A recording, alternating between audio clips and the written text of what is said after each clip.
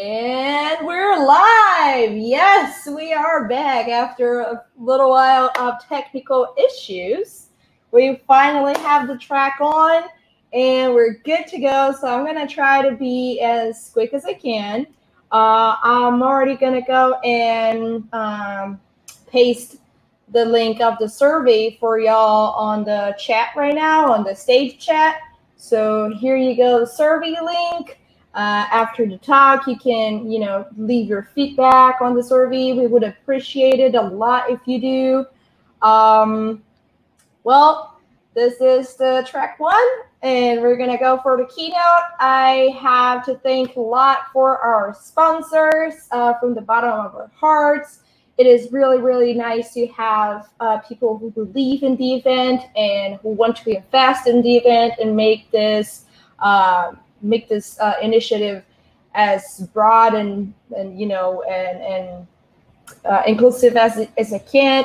So thank you all sponsors. Uh, also uh, have a few announcements. The socials after the talk uh, are going to be on the um, networking feature of Hopin.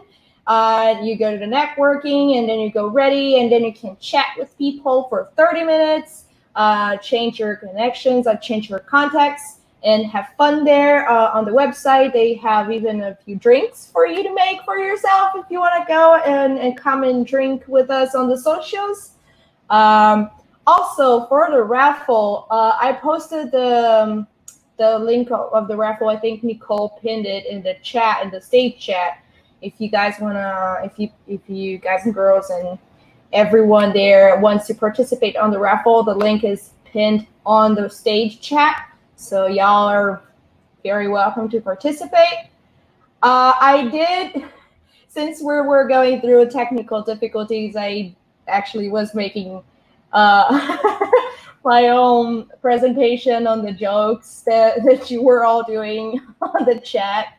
I'm just gonna, gonna go ahead and just go through it. Um, all right, so important information about the talk now. Uh, it is going to be a recorded talk.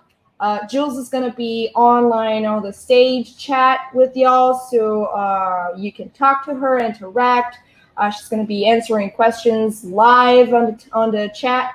Uh, Jules, if you can uh, just wave in the in the chat for everyone to see you, that would be nice. Just go to the stage chat on your right, as you can see on your Hopin window, and just leave a, a hi there. You can find the chat on the chat options and then you go to stage. There you go. There she is. She's to be with, with us all the time. So if you want to hit her with questions, there's the perfect place. Uh, all right. So about Jules, uh, Juliet Okafor. I hope I'm, I'm saying your name out right. If I'm not, you can just you can tell me on uh, whenever you're on. Uh, she's an attorney and the black female founder and CEO of Revolution Cyber, full service managed awareness services firm. Revolution Cyber awareness programs that inspires and engages users to build positive security habits. Given her non-traditional entry into cybersecurity and having overcome many obstacles to achieve her su success, uh, I'm sorry, I'm, my English is not as super. I'm from, from Brazil. I'm struggling a little bit. um, having to overcome many obstacles to achieve her success, she will be giving a keynote titled Reclaiming Your Space in Cybersecurity. Speak out, speak up, and speak often. I want to ask a big round of digital applause for our keynote. Jules, please come come, come, turn on your camera, join us. All right. There she is. Hi, everybody. I really wish I could be there with you, but I'm sure as you are, we're in our homes, we're staying safe from the pandemic. Um, I'm still happy that I've had the opportunity to join you today. Um, and I want to start by thanking Virginia Robbins, the CEO and founder of the Diana Initiative. I want to thank also her wonderful staff members and all of the volunteers that have helped me to get here today. It is not an easy thing to be the last talk of the day, um, basically to conclude and close out an event. But I thought that what I had to share was so important that you'd take the time to come along this journey with me. My name is Juliet Okafor. I am the CEO and founder of Revolution Cyber. I am the black female founder. A couple of years ago, I would not have been able to say that to you. I spent a lot of time hiding who I was in order to make people feel comfortable. And I'm so glad I can be here today to talk to you about the ways in which I've been able to successfully reclaim my space. I want to start by talking to you about where this story all began. I am a, an attorney. I am the mother of two children, and my my rise inside of cyber did not come the way many of you might expect. Some of you know my story. I was laid off from my job in 2013 at the same time I was pregnant with my daughter. And I was unable to get a job. And so I stayed out of work for about 10 months. And in doing so, I prayed, I fasted, and I begged for an opportunity to come up that would make it so that I would never, ever have to beg again. In 2014, I applied to a job online.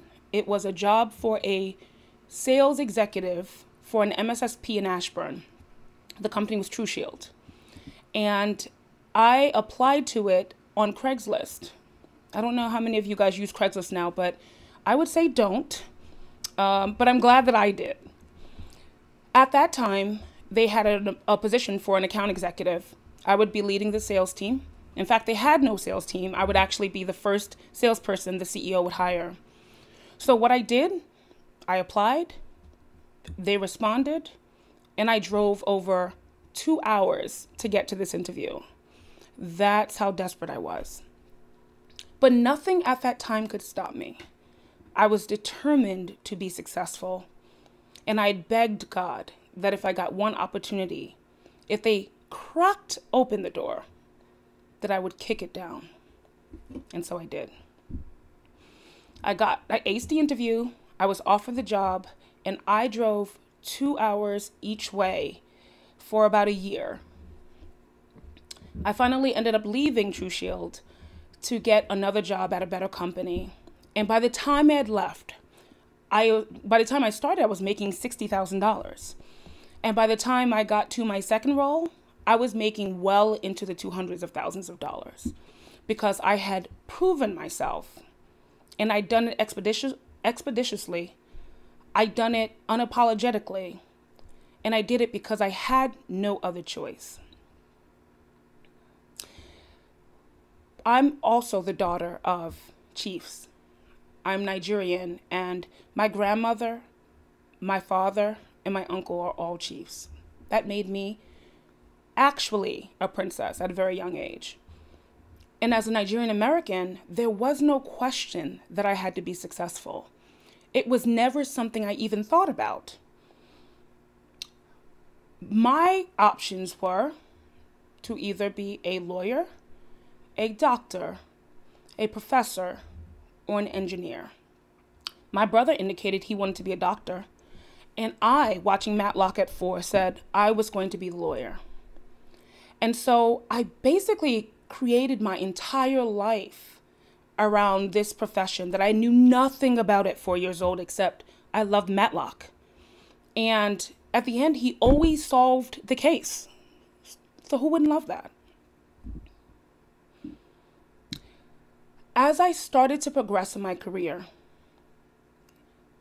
within cyber, it became clear to me that at times that were most instrumental in my life, the times that seemed the saddest, I was always able to rely on my very known history, my legacy, what I knew I had to do for my ancestors, or on just plain grit, pushing through, never failing, and always, always succeeding. And so many people don't even know that when I started my career in cybersecurity, it allowed me to get off of welfare. I was a mother of two children who was literally taking money from the state of Maryland because she could not support herself. So imagine a princess, a lawyer, on welfare? That's my truth. That's who I was. But it wasn't going to be what defined me. And in fact, I'm not her anymore. I will never be her again. Those times are behind me. So, part of my strategy in excelling and accelerating in this industry was that I created a really strong network from the beginning. As a salesperson in cybersecurity, you can imagine people did not want to talk to me. In fact, very literally, they would run away from me. And in doing so, kind of started to feel like a pariah. I felt some sort of way about it. But what I recognize is that they just needed to know me. They needed to get to know me better. And quite honestly, when they found out I was a salesperson who was an attorney, they really didn't want to get to know me. But we'll, we'll come back to that. That's a separate conversation altogether. I spent every day, I was in the office until 10 o'clock at night, sitting in a SOC, building new solutions for customers because if I were to sell something and I could be a resource, then I could be of help and they would come find me. That was my trick. I drew people to me. Why? Because everybody else was cold calling and I never loved to cold call. But I'd always known in my sales career that my relationships would be the things that I could lean on in order to raise business. So, in about 2015, um, I went to my boss and said, Hey, I think it's time for a raise. That year, I blew it out of the park. I was brought on to start their commercial practice, flew to Zambia, helped their team to build out the first SOC in the Bank of Zanaco, worked with the CISO even after to, to continue to deploy and make sure the solution was up and running. I was managing teams in the Philippines. This is in my first year. I was also, I had also replaced my boss. I went from account executive to director in four months. So I walk in, so of course I was entitled to my raise. I knew that. He didn't agree. And I remember it being late at night It'd been a long day. I checked on the kids, walked into his office, and said, You know, I've got a nanny now, I've got expenses, I have to travel, I really need a raise. And he had, and at that time, he had given me a raise to $80,000, but I was making a minimum of $3 million for him a year, minimum. And he said, he laughed. He said, No one is going to pay you that much if you leave here. You've been in the industry less than a year. Yes, you've been doing good work, but you will never make more than $80,000 in a year. I walked out of his office. I packed up my things and I drove home. that night, it was two, either 202 or 208. My phone lit up and it was LinkedIn. LinkedIn had a job announcement and it was for the VP of Information Security at Fortress. And so, of course, I said, nah, they're not going to pick me. He just, you know, he's already told me. No one wants someone with with the least experience I have. But I come from kings. and Chiefs. I applied because I wouldn't, he had told me that I wasn't worth more. I wasn't quite so sure. Now, I did question whether or not I should be making this much, but it didn't stop me from doing the thing I thought I needed to do to get the position. Two months of interviews, flying back and forth, I was offered the job. My salary went up four times. That didn't even include commission because someone else had figured out what my boss couldn't that I was worth more than I had been paid. And part of this conversation today is you are worth more than people tell you. And the people who tell you that you aren't valuable or worth what it is you think you're worth, you're in the wrong space. He didn't want to tear me down, but he also didn't want me to leave. And a lot of us women find ourselves in a position of wanting to do what we think is right, wanting to be loyal. And not that there's anything wrong with that, except when the loyalty to someone else conflicts with your loyalty to yourself, your best interests, your family, your goals, then there should be no loyalty at all. I became the first employee of a startup that didn't even exist when we started it. I was the mail woman, I was the accountant, I was a graphic designer, I did marketing, I was the attorney, but I was so glad for the opportunity and to be in that space, it was scary as hell. I'll tell you. My family, my community thought I was nuts to fly myself to Orlando to meet with two guys who may or may not give me a job and risk a job that I knew I had, was stable, would never lose. But I had to do it. And I had to do it because I could not allow his belief about me to keep me down. I had to see if what was over this unknown was worth it. I was more afraid of what I would miss out on than what I would lose in staying where I was. I could have stayed, it would have been easier. But I didn't and I haven't regretted it since. People always ask me, How did you get to where you are? How did you get into cyber?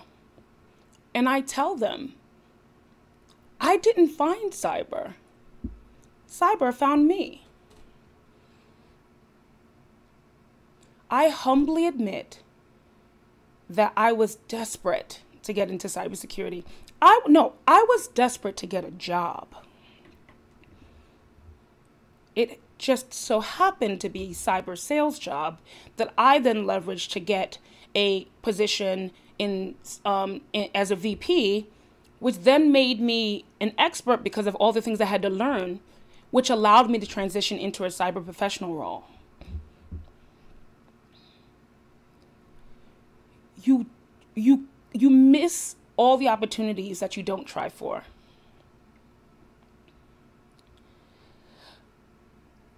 Part of the, the, the, obstacles that I've had to overcome to get where I am, those have been painful. Because the wins teach you lessons and the losses teach you lessons. The pleasure teaches you lessons and the pain teaches you lessons. I've learned a ton of lessons. And I'm learning them and I'm putting my body on the line every day so that other women don't have to learn the painful lessons I've learned.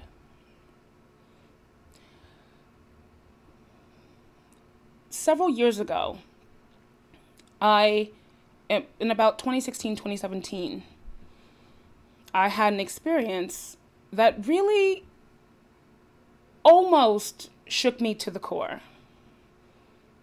It was a lesson in the bro culture. It was a lesson in spaces that I could see but would never step foot in. And it was about, I don't know that I feel like they tried to minimize me, but I know that they were very clear that I didn't belong. And so there was a meeting, and we were in another meeting, and everybody else had been invited to go to the next meeting. And of course, I'm the only woman. The next meeting was going to be after hours, and there were going to be drinks, and there were going to be fun and stories and all sorts of things. I was not invited to go. And it was so clear and visceral that they were excluding me that I was shocked first. And then I was mad. I was mad for a while because I questioned all the things that I was doing to put my body physically on the line for my job long nights, no sleep, on the road every day, every night, leaving my children, last minute deadlines. And in the end, it literally did not matter. I don't know if it's because I'm black, or because I'm a woman, or because I'm strong. That didn't matter. It was about the fact that someone wanted to make it clear to me that I did not belong.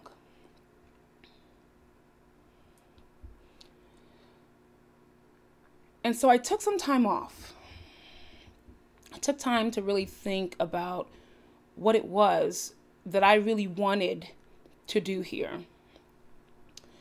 And I spent a lot of time questioning myself really feeling my energy. What is the matter? Why does this bother you? Why are you so upset?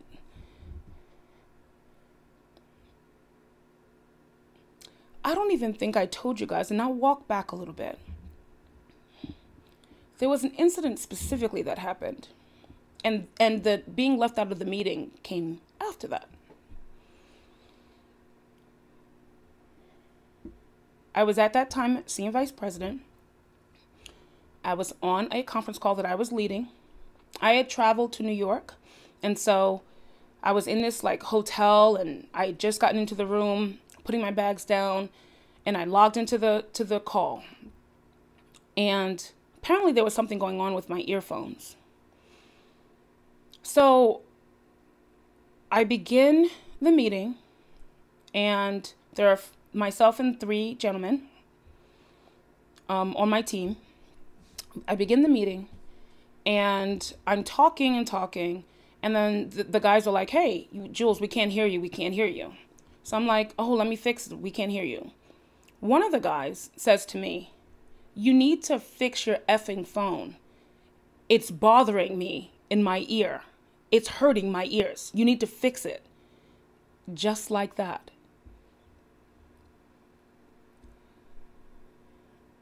I was at the top of the proverbial food chain in that organization. And so I immediately thought, let me reach out and see.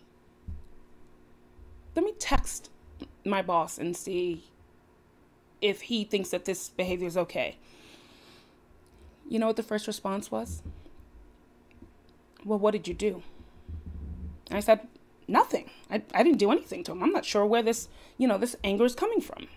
He said, there's no way he could have blown up on you and you didn't do anything. What did you do? And if the being cursed at wasn't enough, the being yelled at wasn't enough, then being accused of having done something to deserve it was the final straw for me. I just couldn't take it. Think about what I had just said. I had gone to a, on a trip. I had left again my children. I had been running into the hotel to get to my phone. And I was yelled at by somebody who was in a lesser role than me for bothering him because my earphone was too loud. And then my boss would do absolutely nothing to fix it. In fact, he wanted me to fix myself. And after that, I drafted an email, communicated it, and I was told to take some time off. I did, came back, and the brohood started. I was excluded, made to feel different, told I was a troublemaker. All these things happened. I I I was already, I think, on my on the end of burning out. I'd gone through a divorce that year. You know, I was on the road more frequently. Some of the really good guys I used to work with, they had left. We were on a really tough project that was failing and that I had to keep rescuing. And I just, I, I said, I, I gotta step away. I can't do this anymore. I can't do this anymore. And part of what I didn't know then that I know now, at least what's been my experience, the things that pop up like this are not always about the person that I'm in the conflict with. The conflict is occurring because I've outgrown the space. The conflict is occurring because I stayed beyond the time I knew I probably should have left. It was occurring because there were indications and red flags that I was no longer wanted and I continued to persist. We have to know when it's time to pick up. We have to know when the space is no longer serving us. Because, ladies, space matters. Space matters. And let me talk to you about why space matters. Whenever I think about space, think about open spaces, space is also what determines a place. Whatever spaces you occupy create places where you exist. Countless people will tell you that it's not important that someone is violating your space. But naturally, when someone violates your space, you feel uncomfortable. And that's a physical manifestation. But in the professional setting, you start to feel uncomfortable and on edge and anxious and stressed and having panic attacks when the space no longer serves you. And without a space, there is no place for you.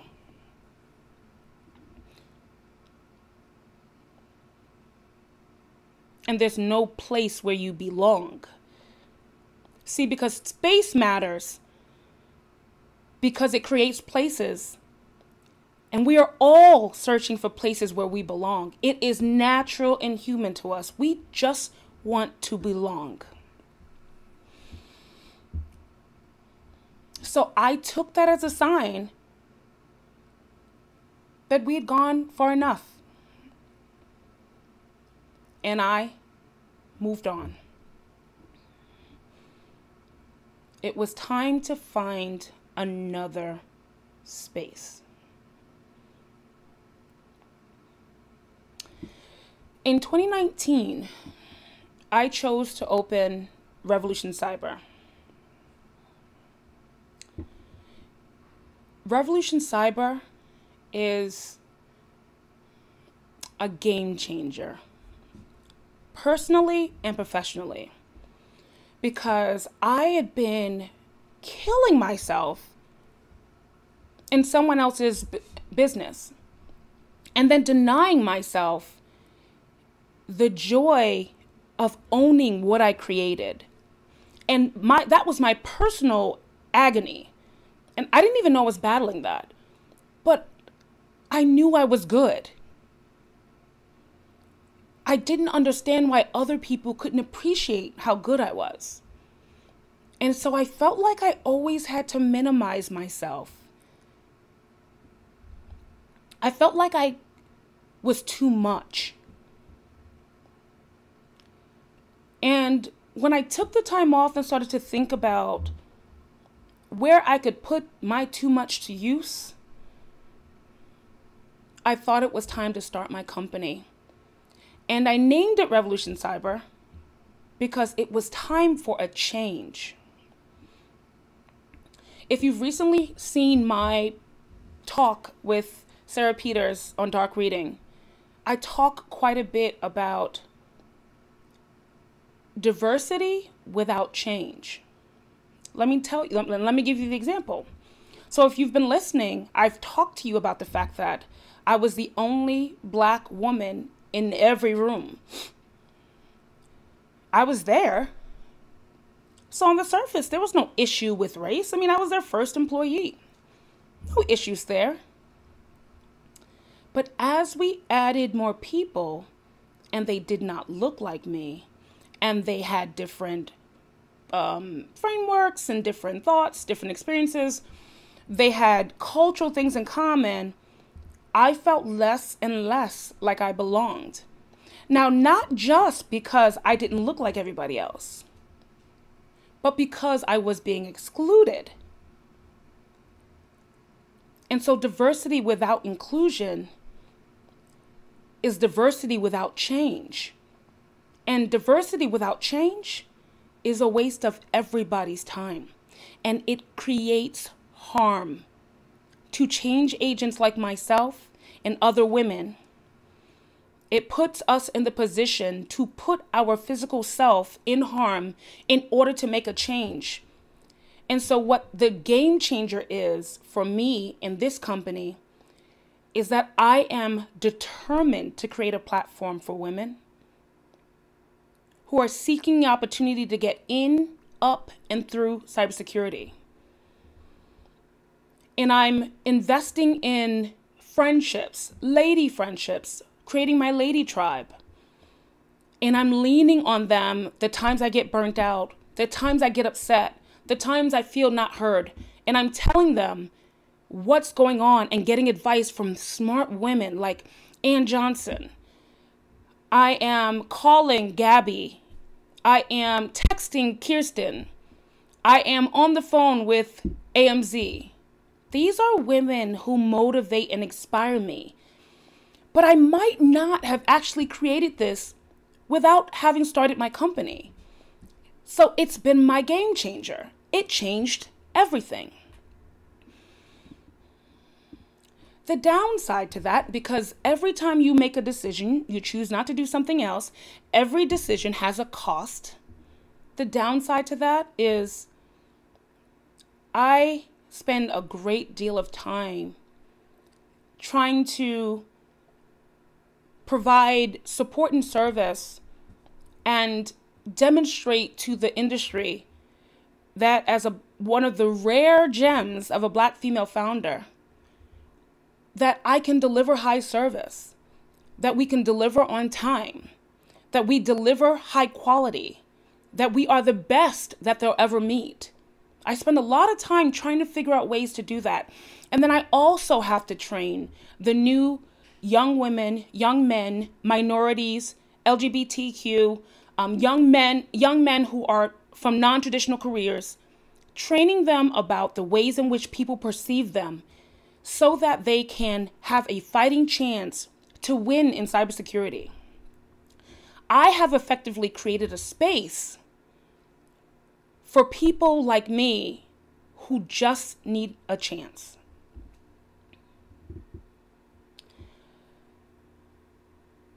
the point of this conversation today is that none of my obstacles have been easy to overcome.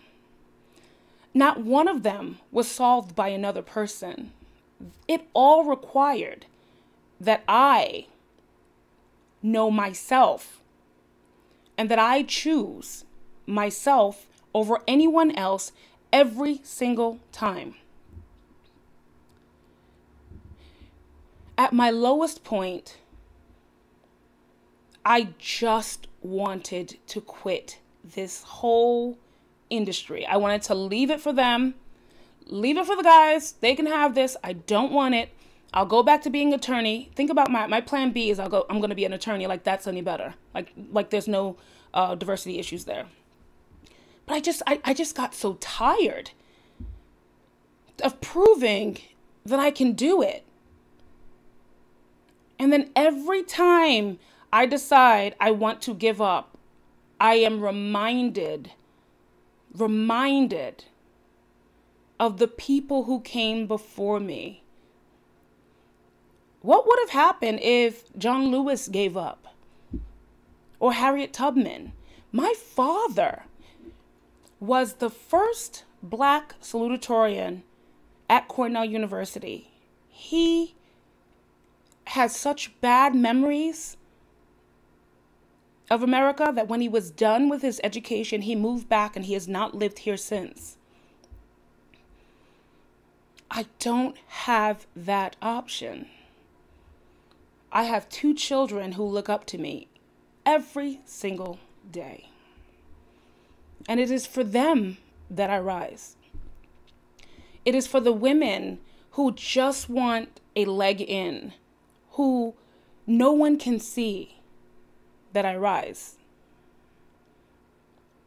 It's for the quiet, you know, mid level woman who has all the traits to rock this industry, but can't bring herself to ask for the opportunity that I rise. I can't even tell you what it was I wanted to talk to you about today. It wasn't this. I have experienced so many different issues around gender, race, bias this week alone that it nearly it, it nearly took me back. But I rise. We all have to rise.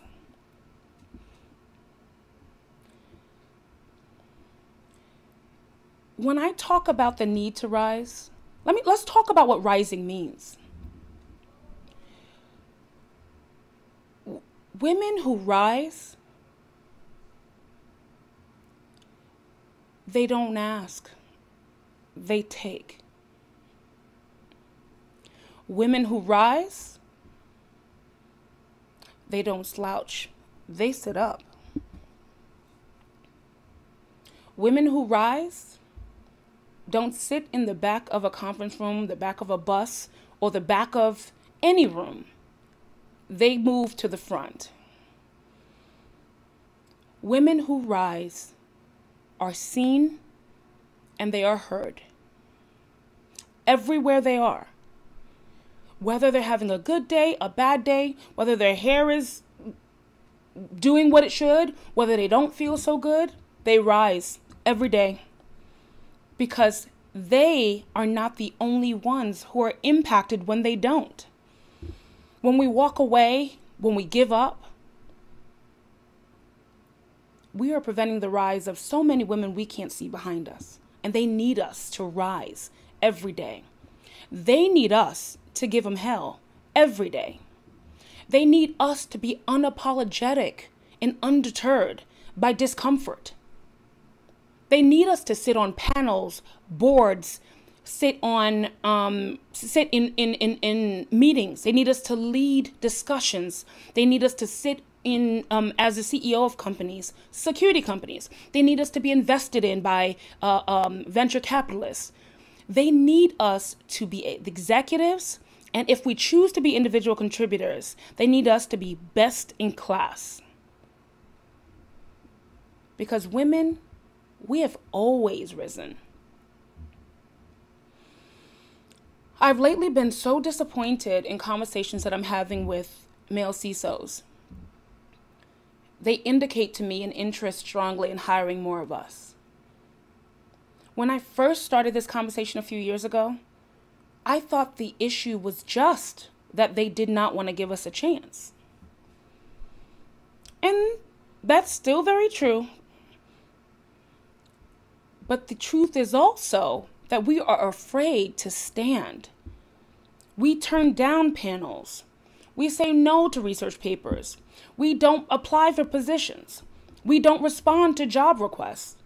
We don't submit for interviews. We don't follow up for interviews.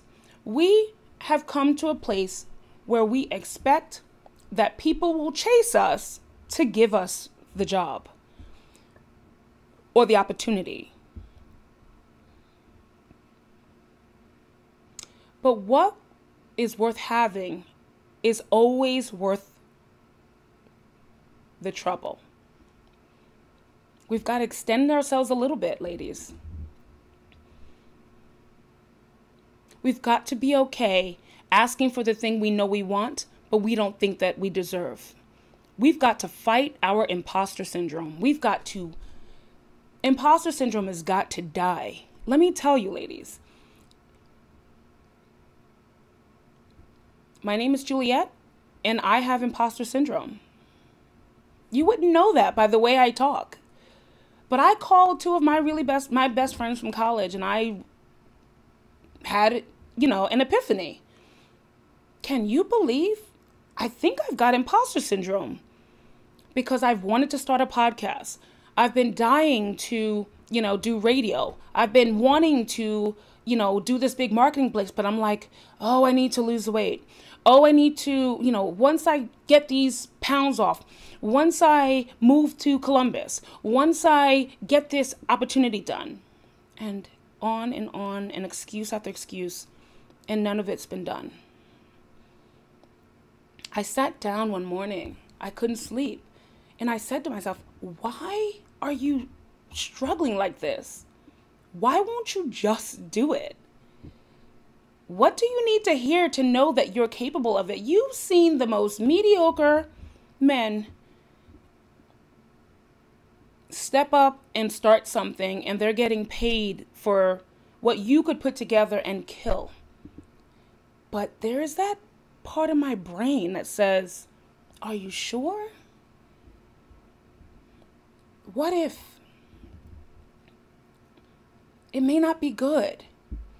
See, I'm somebody who compartmentalizes, so I can both push through to get a client's work done and know that I'll knock it off the roof. But when it's something that for me, I hedge, I question, I add all kinds of doubt to myself because in my mind, I question whether I deserve it. Do I deserve it? And I'm also afraid to commit if I commit, then I'm in this thing and I can't get out of it. And one more thing. But the longer I take to make a decision about something, the less of a shot I have. Sure, things pop up and I could be, you know, someone could come to me and say, We're gonna pay you a gazillion dollars to be, you know, a podcast host. That's that's rather unlikely. that's that's that's like winning the lotto. And I stopped playing years ago. Don't judge me if I am not willing to put myself on the line for myself, despite how uncomfortable I feel, I will be doing myself, this industry, my children, and the people behind me a really clear disservice. I have a voice, and so do you. Apply even if you're not sure you'll get it. The job. Say yes first. Sit on panels. Ask people for help. You can ask men well, you know if they can help you. Men you trust. Do that. Don't sit idly by because we must rise. And when we rise, we increase representation for women in our field. We ensure opportunities for women who are still yet to come. And we make room in the industry for more of us, for those of us who are here to be seen and heard. So we must rise. You must stand up. It is not the time to sit back and be idle or to second guess. If we're going to be successful, this is the time. The time is now. This is the revolution. And it's untelevised. I know how you feel. I just admitted to you, I struggle with the same syndrome. But I'm fighting through it, and so must you. You must fight every day like your life depended on it, because it does. The life you have today will dictate the life you have tomorrow. Therefore, you must be planning today for what you want next. And you must be using COVID not as an excuse not to move, but in, as a reason to prepare. COVID is giving us time with our families, with ourselves, away from the office, with less distractions. This is your time. So, anything in your inbox that's a request for something you've never done before, start by saying yes. Give your requirements, set your expectations, tell them your limitations and boundaries, but start by saying yes. Back in 2013, when I myself was on welfare, I begged for the opportunity like I have today. And every time I get, you know, down in my feelings, I remind myself, you wanted this. This was what you wanted. Now you're going to make an excuse? I don't have the ability to do that. I owe God so much. It, it doesn't even matter if you believe in God. I owe myself so much. My family.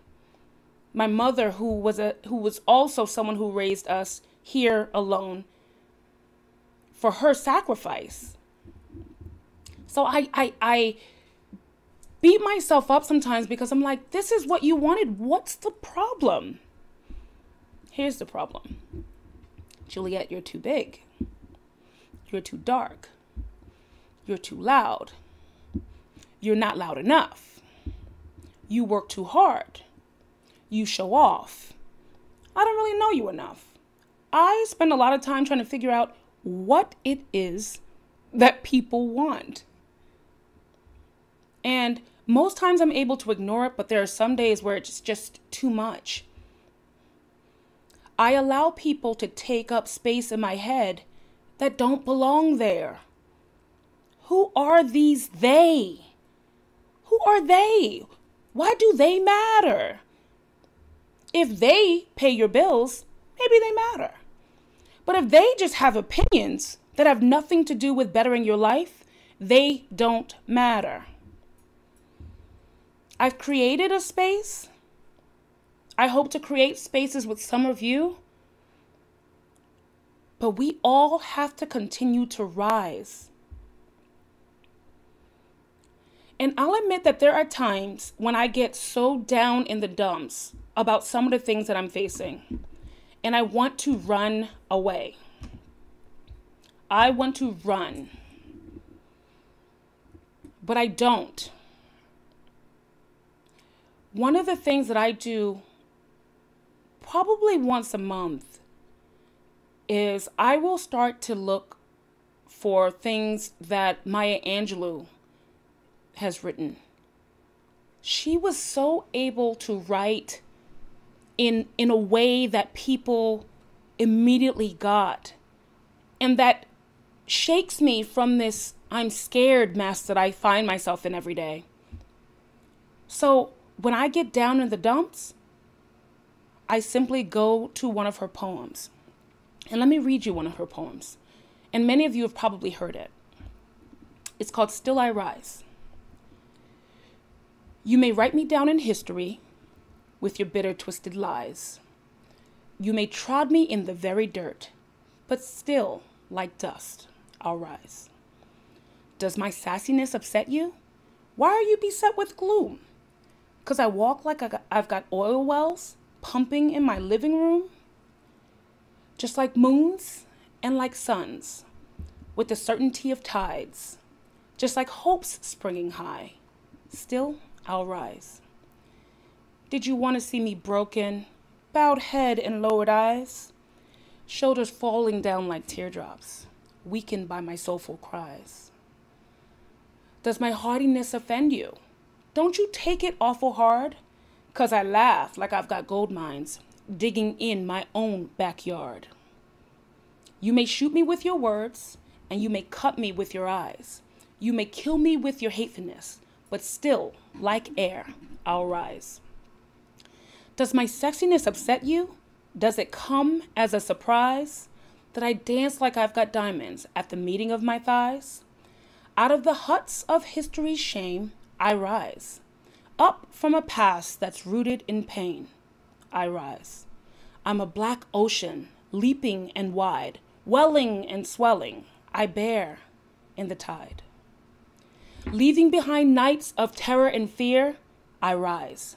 Into a daybreak that's wondrously clear, I rise, bringing the gifts that my ancestors gave. I am the dream and the hope of the slave.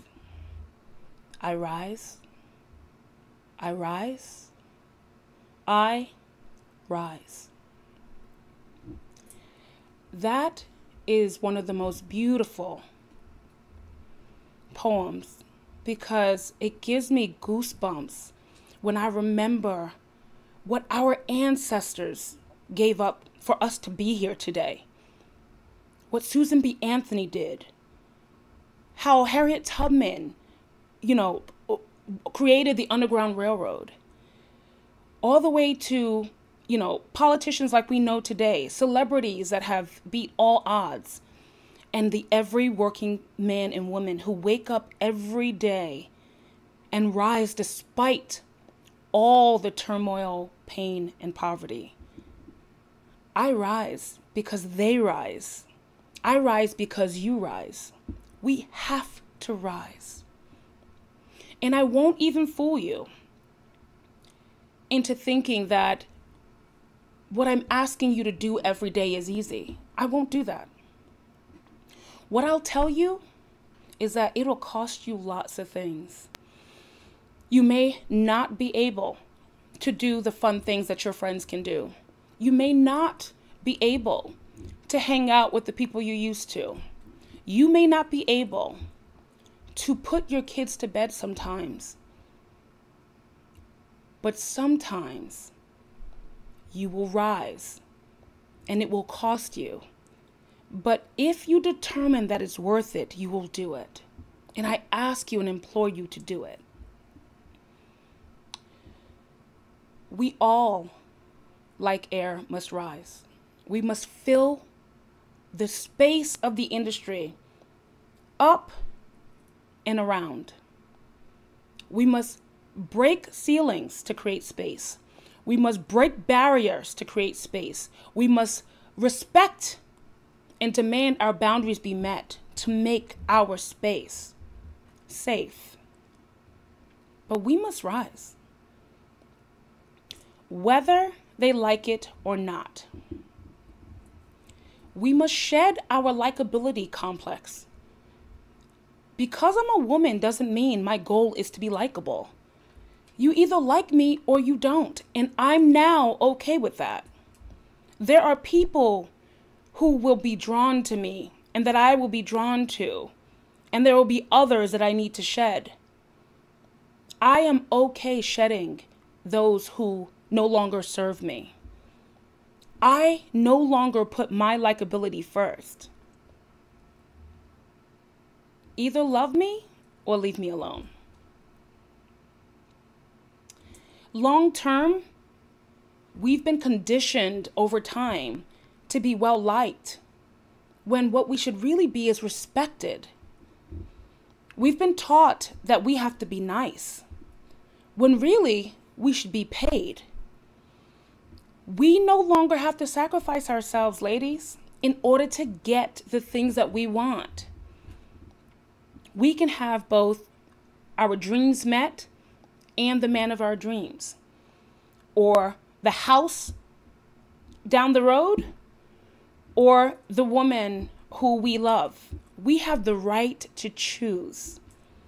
But I'm asking you to choose to rise despite all else. Because in rising, we take up space. And space, taking up space is change, it's action, it's movement, it's motion. It's disruptive. Change makes things different. It disrupts the status quo.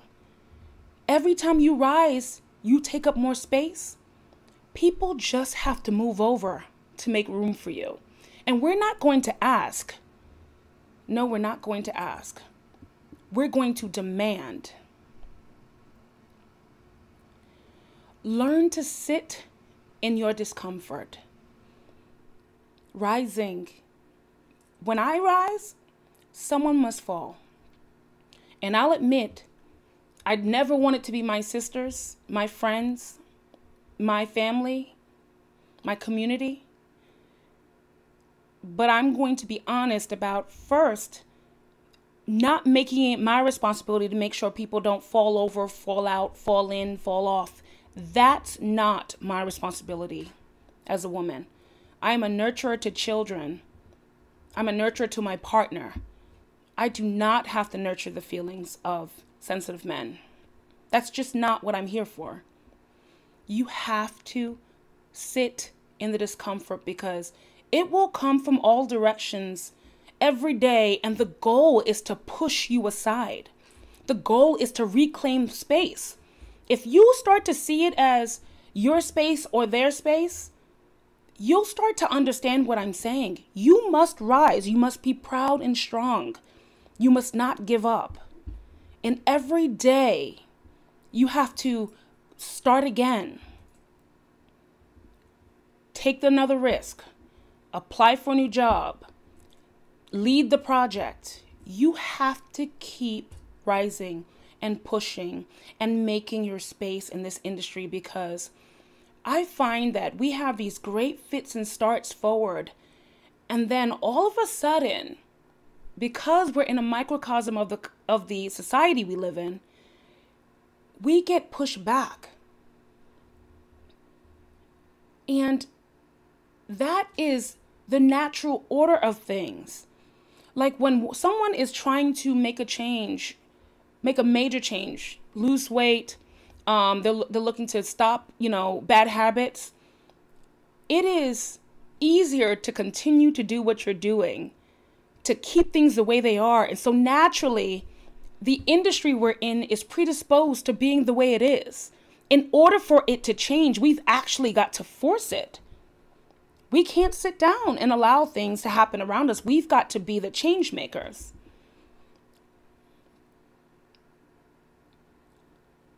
This is our time in cyber. This is the time for women and minorities in cyber and LGBTQ and um, even veterans and those who are um, disabled, those who are neuro, who who um, who have neurodiverse um, frameworks, and I and I'm one of those. This is our time. But I'll tell you, we have to do it with the full community, and men are people too. In fact, all of my opportunities in cyber have come from men. So I I implore you not to take this as a male bashing session. It's about loving yourself enough to ask for what you want and not to allow anyone to step into your space. And ladies, I mean this. Physically violating you, inappropriate touching, inappropriate comments, making you feel uncomfortable in your own skin, or making you feel like you can't look good because someone else can't take it. When we rise, we look good doing it, and they'll just have to accept it. And if you find that they cannot accept it, if you find that the people who you're talking to are unable to handle you and your badass, if they cannot stand your beauty or you make them feel like less than a man, or you're working with a woman who's challenging you, or being someone who is not your supporter. I'm going to tell you one phrase that I've heard recently that I think plays in any situation that I just mentioned. Men have a wonderful way of not letting things bother them. It rolls off of them so easily. And one of the phrases that I heard recently when I get frustrated or someone says something that they want me to be upset about, but I'm not, I'm going to teach it to you today. When some man makes you feel like you don't deserve it, or some opportunity comes up and there's competition and you're afraid that you might hurt somebody else, I want you to sit up, look around, and then look directly at the person and let them know it is what it is. Never lose your space because spaces create places, and places are where you belong. And you belong here. We belong here. And so keep rising. Thank you so much for your time. I'm so glad you could come with me into my household. And please feel free to connect with me on LinkedIn or Twitter. It, I've had a wonderful time today. I am just trying to recover myself, actually. oh that my God, what was definitely worth the wait. Oh. My mind is just blown. I, I I got the wrong link like three times in the chat because I could not I, I could not deal with anything else. God, thank you. So amazing. Thank you. Thank thank you. I, I can't even thank you. that all came out of me today. I was like, oh wow, okay. I am so glad that we were able to upload this even if it took a, a, an extra while. I mean, we we made it through. Thank you guys so much for your patience. So good. I'm gonna try to. Uh, I hope you all connect with Jules in chat and continue the conversation. And obviously, I think there was a specific, you put your Twitter handle in there. So, those of you asking about the Lady Squad, yes. a lot of follow up for everyone to do on that one. I just posted again the correct link for Jules' survey. So if you didn't uh, give her feedback yet, please do. This uh, I, I wish everyone everywhere could could watch this and just give like amazing feedback. Uh, I'm sorry, Jules, you're gonna have to be content with us here. Oh my God, this was amazing though. It brought out a lot of things in me I didn't even know was in there. So I'm like, this is great. Thank you. Thank you. And for everyone that want to join uh, the socials, just remember they're in the networking uh, area of the Hopin, their network fe- feature in Hopin. You can get connected with people from everywhere just, that are participating in the Diana initiative. And I hope you all have fun. We're definitely going to need some alcohol to process this. oh boy. Well, Thanks, everyone. Intense.